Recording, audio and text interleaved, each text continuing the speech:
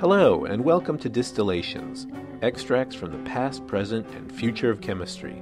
I'm Mayor Rindy. On today's show, we're looking at plastics. We'll learn why every packaged product contains traces of its wrapping, and we'll speak with a former DuPont chemist who helped develop the wrap for our supermarket roasts. That's all coming up on today's episode of Distillations. Plastics can be thick or thin, rigid or flexible. They can form almost any shape and can serve as furniture, car parts, even clothing. Plastic has traditionally been made from petroleum, but now some new ingredients are entering the mix, most notably corn. Versatile corn has been part of the American diet for centuries. It's recently become part of our car's diet as corn ethanol, and now it's being turned into plastic. This kind of plastic is called polylactic acid, or PLA. It's made from lactic acid, which comes from all kinds of starchy foods, including wheat, beets, sugarcane, and soy. These compostable plastics show great promise for the environment, but all plastic has its limits. Jennifer Dionisio has more in today's chemical agent. As far back as the 19th century, scientists knew how to convert lactic acid into PLA but the process was too inefficient to make it worthwhile. It wasn't until 1989 that a chemist found a cheap way to turn the starch in food into plastic. PLA soon became a marketable commodity, and it's now used to make clothing fibers, biomedical sutures, food packaging, and plates, knives, and forks. According to the EPA, manufacturing PLA is twice as energy efficient as making oil based plastics. Consider that traditional petroleum based plastic packing in the U.S. consumes 200,000 barrels of oil per day. PLA consumes none. In 2002, NatureWorks, the company that makes PLA, won the EPA's Green Reaction Award for the industrial process that turns corn based lactic acid into PLA. The manufacturing process uses little energy, recycles byproducts, and uses water instead of toxic solvents. PLA production also uses less fuel and releases fewer greenhouse gases than the production of traditional plastics. Producing PLA may be more environmentally friendly than ordinary plastics, but take its composting claims with a grain of salt. It turns into compost only in particular commercial facilities. Throw PLA onto your backyard compost heap, and the plastic will just sit there. Also, while the average municipal recycling center handles recyclable oil based plastics perfectly well, PLA gums up the works. It can't be recycled into bottles or truck liners because oil based and corn based plastics cannot be processed together. So we can now eat corn with silverware made from corn on a plate made from corn. But until recycling practices catch up, throwing away PLA will have the same effect as throwing away traditional plastics more trash. And that's it for the chemical agent. I'm Jennifer Dionisio. Jennifer Dionisio is Distillation's assistant producer. We're used to worrying about what's in our food and drink, but we don't often consider how our food and drink is packaged. Plastic, glass, cardboard, and aluminum are all used to make containers and to protect food from contamination. We unwrap or unscrew or rip open the packaging, take out the food, and throw away the unwanted container. But that container may have left something behind.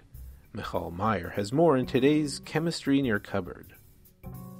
Plastic is everywhere, wrapped around frozen vegetables, fresh meat, and many medicines. And while this artificial coating is meant to protect us, super sensitive instruments have detected microscopic amounts of left behind packaging in our foods. It turns out that everything leaches.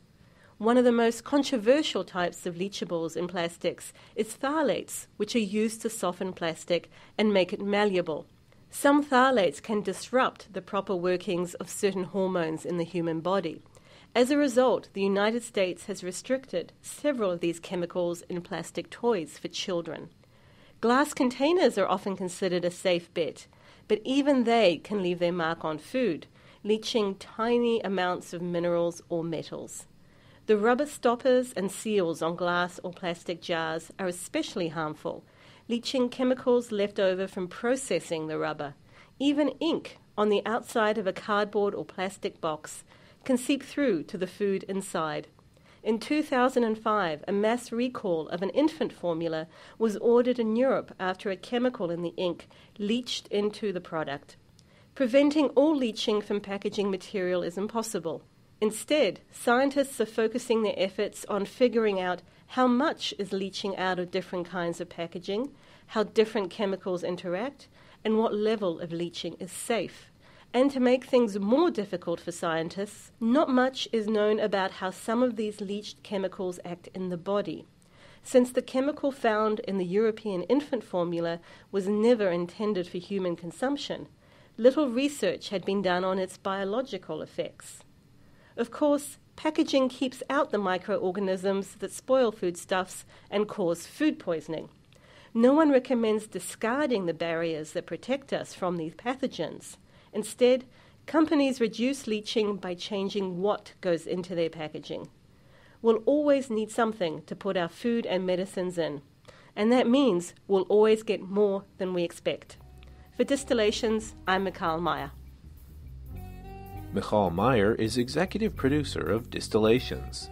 We have more information on food packaging and safety on our website, distillations.chemheritage.org. You're listening to Distillations. I'm Mayor Rindy. One of the most ubiquitous forms of plastic packaging is the barrier wrap that keeps meat fresh and juicy looking in supermarket display cases. To learn more about how this plastic wrap was developed, I talked to our own Bob Kenworthy, a chemist who was director of marketing for DuPont's flexible packaging business. Bob, thanks for coming in to speak with us today. You're quite welcome. I'm happy to be here. I want to start by asking you what is barrier packaging? Oh, Mayor, there's two reasons why food is packaged. One is just decorative to display the product commercially, but the more important one is functional to protect the food from bacterial infection or from uh, oxidation or, or degradation in one way or another. Generally, that functional packaging is referred to as barrier packaging because it stops things like bacteria, water, and oxygen from getting to the product. And what we're talking about here for people who aren't familiar with the idea is the generally the clear plastic that you see wrapping products uh, in the supermarket. Isn't that right? Yeah, today's technology for food marketing uh, requires that it be packaged flexibly rather than in uh, metal cans or, or, rigid glass jars, as uh, some older packaging was uh, arranged. So, for the most part, in a display case in a grocery store, you want to have the food, uh, particularly when we're talking about meat and meat products, you know, cut in the way that it's going to be cooked by the homeowner. Uh, uh, and then uh, displayed in an attractive way so that they say, oh, wow, I want to have that for dinner. And of course, it protects the meat, keeps it in good condition so people can take it home and it's still good for use. Correct. The, from a store owner's point of view, uh, there's a concept called shelf life, which is to say, how long can you keep that product on the shelf in the grocery store before you sell it and still have it be safe and attractive to the consumer? Some products, particularly fresh meat, uh, in the absence of, of good functional packaging, you have maybe a day, two days at the most, uh, of shelf life. Whereas with good uh, barrier packaging, you can extend that up to a week or two. So it's a real economic uh, benefit for the store owner. And those wraps that we see in the store, they're actually made of several layers or different kinds of plastic? Correct. There, there is no one polymer that does everything that needs to be done to, uh, to protect meat. So, for the most part, it would be a, a three layer, five layer, or even seven layer co extruded film where one layer would provide the bulk uh, structural properties, give it enough strength to stay together. Another layer would provide the barrier, keeping oxygen, water, and, and uh, uh, microorganisms away from the meat. And then the third layer would provide sealability. So, you know, af- after you wrap it up, you want to have a way that it actually shrinks down to conform to the meat and, and seals around the meat uh, so that you don't have gaps and leaks. I understand that there are some plastic wraps that are designed to breathe, actually.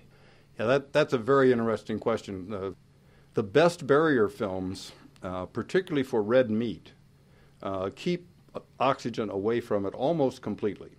And if you look at the chemistry of hemoglobin, the, the red of red meat, uh, oxygen is required to give that uh, molecule its bright red color. If you keep oxygen away from it, it turns a very, very deep purple. And that very, very deep purple, if you look at it from a distance, is very hard to, for the human eye to distinguish between that color of purple and brown.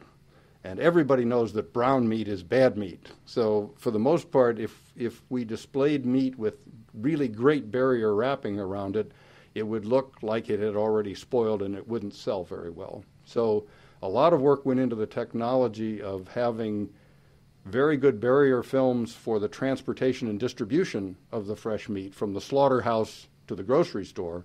But then once it got to the grocery store, you could actually peel that barrier layer off and expose the meat with a more porous film so that oxygen would get to the hemoglobin and the meat would bloom red and look like beautiful, fresh red meat.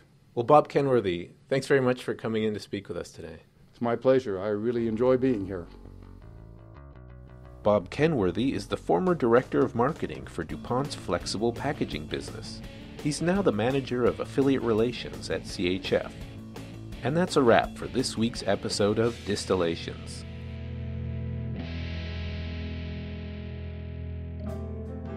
Distillations is a presentation of the Chemical Heritage Foundation. Our show is produced by Michal Meyer, Mia Lobel, Victoria Indiviro, and Jennifer Dionisio. Our theme music is composed and performed by Dave Kaufman. Additional music provided from the PodSafe Music Network. Please tell us what you think about our program and send suggestions for future shows to distillations at chemheritage.org. Until next time, I'm Mayor Rindy.